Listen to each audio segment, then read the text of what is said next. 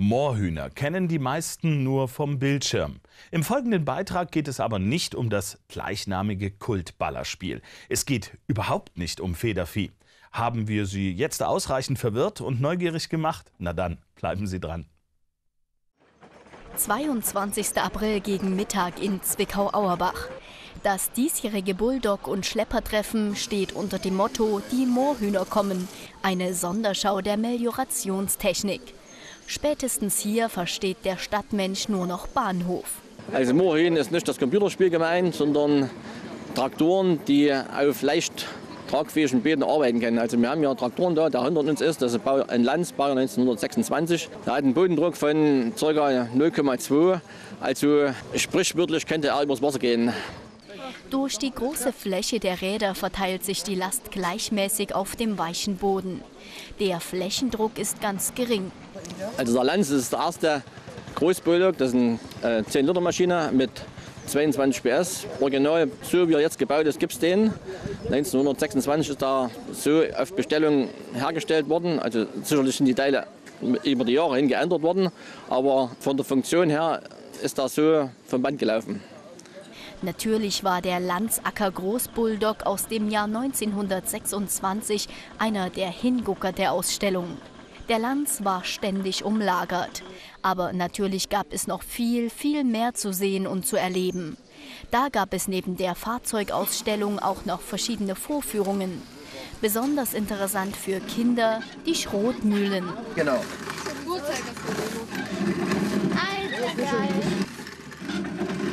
Hier konnten sie richtig zupacken und spüren, was Generationen vor ihnen in der Landwirtschaft geleistet haben. Auch die Rundfahrten mit dem Traktorzug kamen bei den Kids gut an. Das Aprilwetter machte an diesem Samstag seinem Namen alle Ehre. Mal blickte die Sonne durch die Wolken und oft genug entleerten sich diese. Das verwandelte den Boden in kurzer Zeit in eine Schlammpiste. Die Auskenner hatten Gummistiefel an den Füßen und die anderen sprangen wie die Moorhühner über die Pfützen. Das alles wurde aber gerne in Kauf genommen. So geht das schon seit 15 Jahren. Seit äh, 80er, 70er, 80er Jahren in Leipzig immer so eine kleine Truppe, die das gemacht haben. Früher war der, der Mark Kleberg immer das, der Agrar, das Ding, wo historische Landmaschinen waren, Bulldogs waren. Und nach der Wende war dann eigentlich die Leipziger, die, sagen wir, was jetzt Landsfreunde Sachsen sind, die das inszeniert haben. Und dann haben wir halt gesagt, okay, Zulauf ist da und wir haben eigentlich dasselbe Interesse wie die anderen auch. Und wir probieren mal ein bisschen. Und haben halt angefangen mit irgendwo 25, 25 30 Traktoren hier auf der Wiese, eine kleine, kleine Ecke. Und dann ging das halt los. Und mittlerweile haben wir halt immer wieder gekämpft und die Wiese aufgezogen und hübsch gemacht. Und haben halt sagen wir, ein bisschen Zulauf das jedes Jahr. Und sagen wir, der Kontakt ist immer ein freundschaftlicher Kontakt. Also es ist immer eigentlich ein Freundeskreis, der da kommt. Und dann haben wir dann durch Gäste von woanders her, die kommen, wo wir auch hinfahren zum Treffen. Also wir haben Leute, die kommen von, von Leipzig, von Blauen, von, von Hof, von Schleiz aus der Ecke.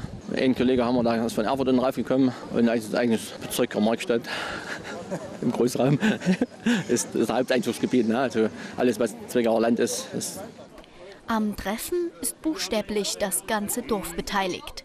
Also es sind eigentlich alle irgendwo, die gehfähig sind unterwegs. Es geht los von den Frauen, die Kuchen backen und Helfer, die sich um den Parkplatz kümmern und einweisen und mit eigenes anrichten. Ja, also das sind eigentlich das einzige oder das, das größte Ereignis in unserem kleinen Kaff. Dass die Einwohner diese Veranstaltung lieben, das war deutlich zu spüren. Auch die Siegerehrung wurde mit Stil durchgeführt.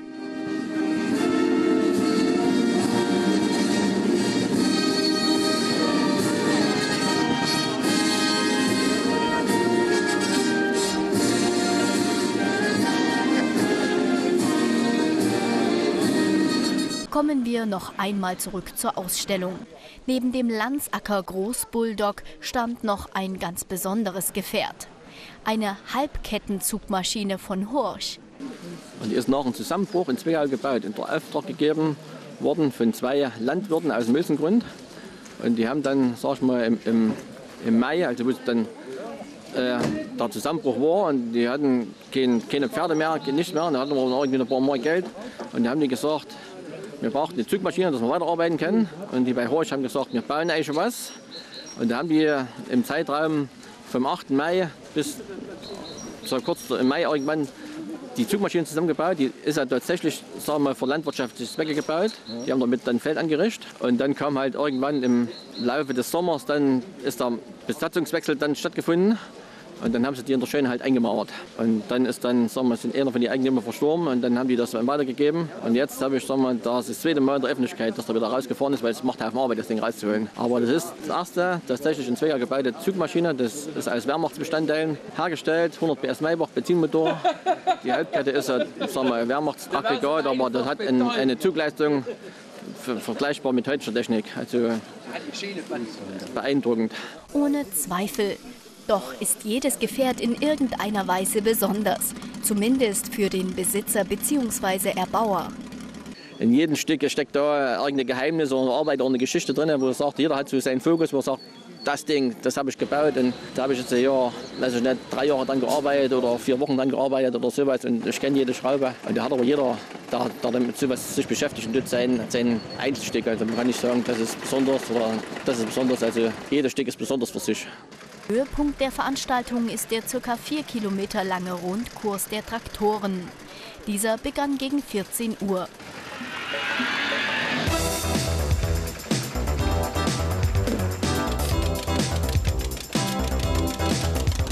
Hunderte Schaulustige säumten die Strecke.